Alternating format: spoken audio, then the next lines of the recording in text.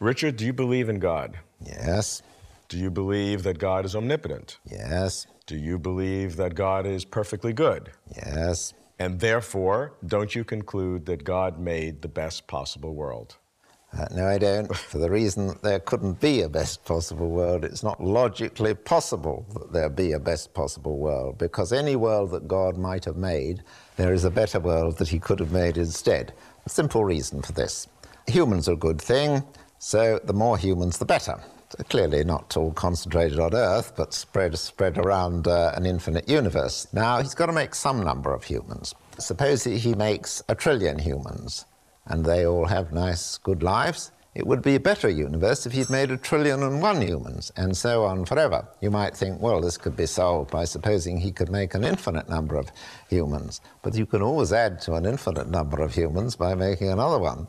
So, whatever universe God makes, it wouldn't be the best of all possible worlds because there couldn't be a best of all possible world. Okay, and if God has not made the best of all possible worlds, how then can you define God's perfection?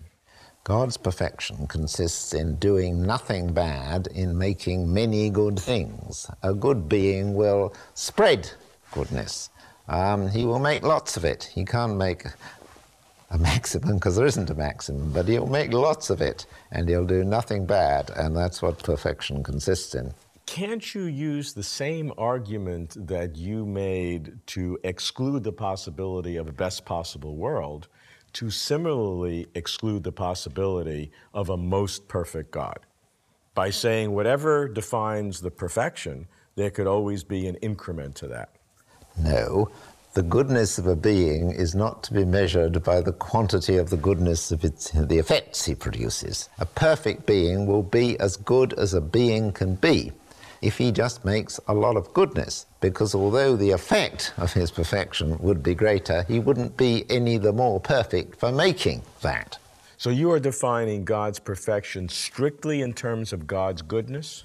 He is perfectly wise in the sense that he knows all true propositions, and he's perfectly powerful in the sense that he can do anything. But uh, perfection in this context is usually meant by moral perfection. What I'm doing actually is spelling out the notion of God in a coherent way. And uh, clearly, uh, it's part of uh, God being who He's supposed to be that He's very good. Now, the question is how you spell that out.